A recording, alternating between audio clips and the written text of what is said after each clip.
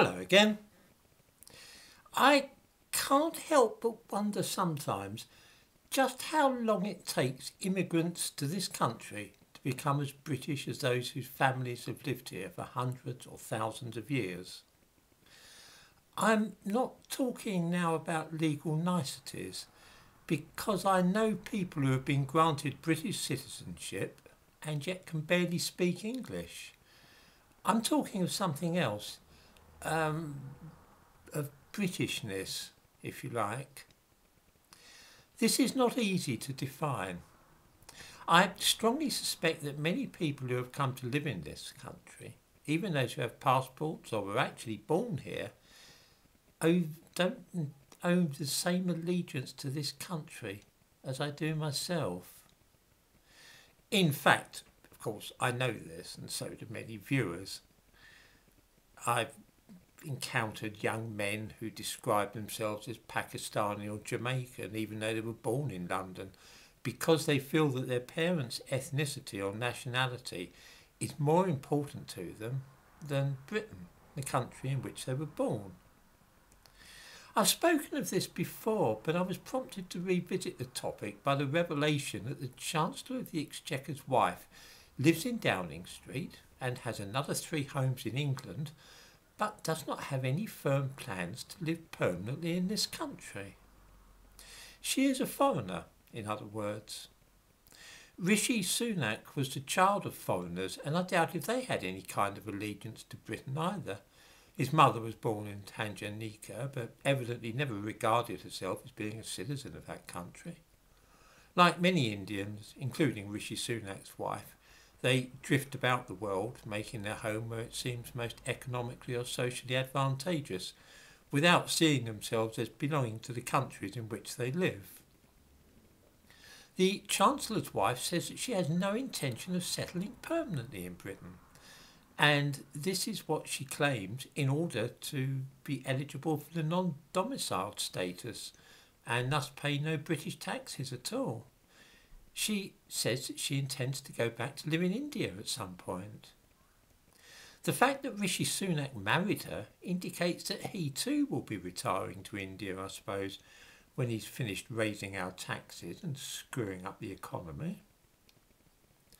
Looking around me, where I live, I see many Romanians and Bulgarians who have acquired British passports. A family of them live next door to me. I enjoy excellent relations with them, but they are not by any definition, other than the strictly legal, British. They speak Bulgarian at home, and so do their children. They return to Bulgaria every summer, and all their relatives, friends, and all the visitors to their home are Bulgarian. I have never heard anything but Bulgarian being spoken in their back garden, never English. Nobody but a fool would claim that these people are as British as I am. I cannot quite get this point across sometimes to friends who read The Guardian, which is puzzling because I think that I have reason and logic on my side here. As I say, even when children are born to African families living in this country, they do not generally regard themselves as British, they call themselves African. It must surely not have escaped notice that people born in this country to immigrant families are more likely to adhere to um, other loyalties, for example, the doctrine of Islamism, than ordinary British people are. It may perhaps be recalled that three of the bombers who set off suicide bombs on the London Underground in 2005 were born in this country and were theoretically as British as I am. The fourth was a Jamaican who also had British nationality.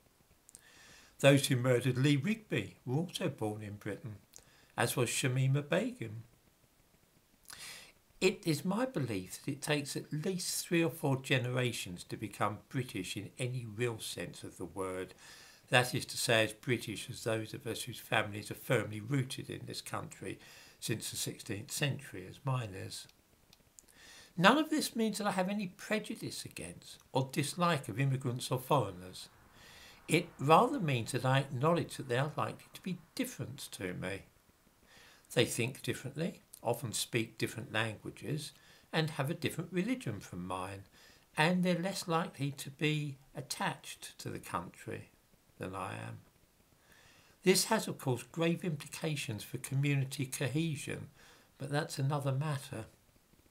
Thinking of Rishi Sunak reminds us that more than a quarter of Boris Johnson's cabinet fall into this particular category of, shall we say, questionable loyalty. Priti Patel, Alok Sharma, Sajid Javid, Kwasi and Nadhim Zahawi are all in a similar case.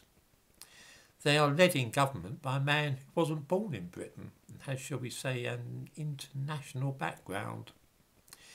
If I were a dyed-in-the-wool chauvinist and little Englander, as some people have suggested in the comments here, this would be enough to make me more than a little uneasy for I have to ask if England means as much to such people currently in government as it does to me.